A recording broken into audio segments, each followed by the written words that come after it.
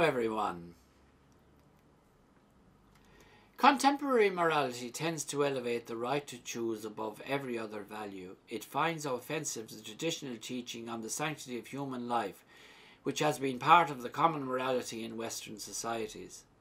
This moral outlook is having many profound effects. It has desensitized many people to the evil of abortion, and it has also predisposed many to support euthanasia. Euthanasia aims at ending a life judged to be no longer worth living, either because of suffering or because of presumed indignity or poor quality. The aim is accomplished either by a direct action, such as administering a lethal injection, or by depriving a person of medical treatment to ordinary care in order to bring about death.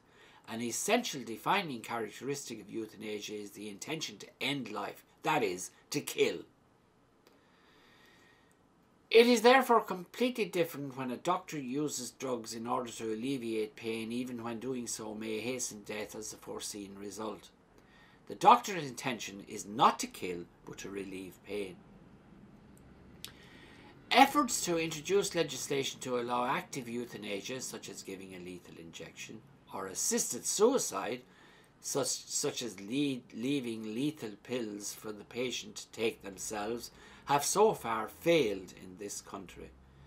There is a risk, however, that euthanasia could enter by the back door as a result of certain court decisions and law commission proposals.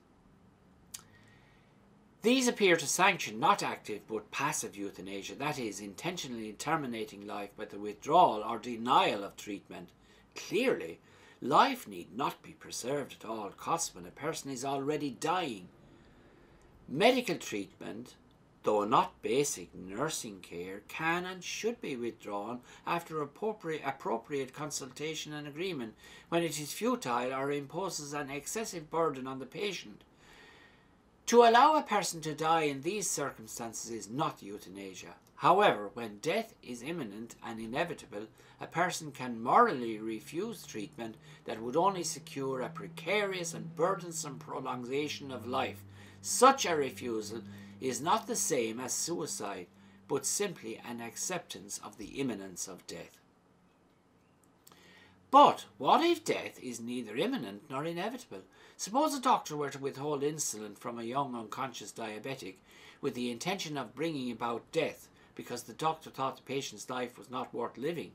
That would be passive euthanasia. Now, if the doctor were deliberately to withhold insulin in order to assist in carrying out the patient's previously declared wish to end his life, now that would be assisted suicide. Court judgments, such as that in the Tony Bland case, we're going back to the 80s here, already appear to permit passive euthanasia in certain situations. Furthermore, the government is about to consult on Law Commission recommendations to overhaul the law relating to decision making in respect of mentally incapacitated adults. As drafted, these proposals would appear to enshrine in statute some of the disturbing precedents already set by the courts. They appear to be so widely drawn as to permit the withdrawal of treatment in certain circumstances not only on the basis that it is futile where death is imminent or inevitable, but even in order to terminate life, because the person's life is judged by others to be no longer worth living.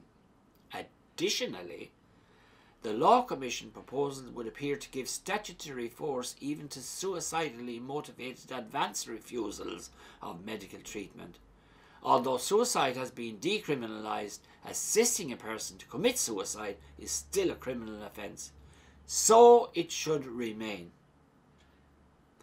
Thank you for listening and God bless you all.